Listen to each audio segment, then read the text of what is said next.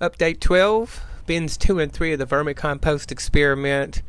This is bin 2 back on the 16th of August when I came across and open or when I opened the bin.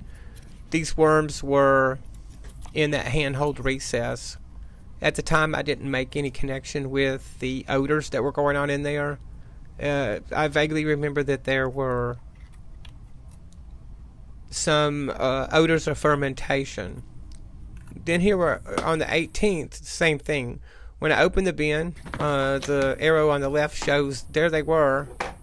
Worms were in that handhold recess again, and they were also on that lip. And the evidence of it was back on the 9th when I did that little section of video there on the inset. Um, I still hadn't made that connection. So I just went ahead and scooped them up and put them back down into the bin. I didn't want them to get out and fall into the moat and they drowned in there. So I didn't do much out of the ordinary. I added uh, avocados to the bin and then I had forgotten so I had to come back and open up that mango and spread it out in there a little bit.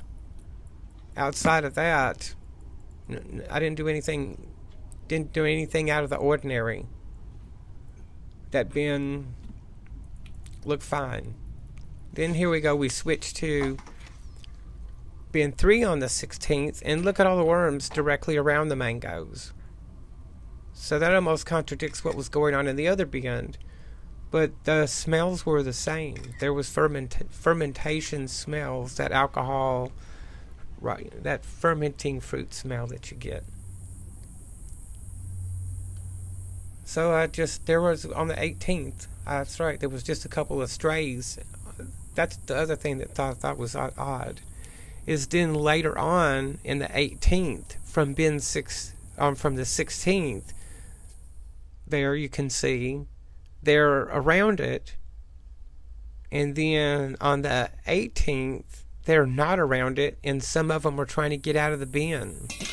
so I thought that was interesting. So it almost contradicts the fermenting thing. Or maybe they were fermenting at different rates, whatever. I just wanted to document it so there was some kind of visual about that and see what was going on. So if it comes up in the future, we'll have something to reference.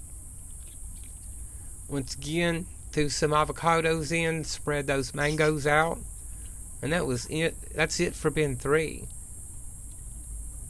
Yeah, there's, there's, I, I can't think of anything else to add. I'm kind of stumped by the whole, that whole thing. Not sure where it's gonna go, but I'll watch it in the future. This is 13. I'm out.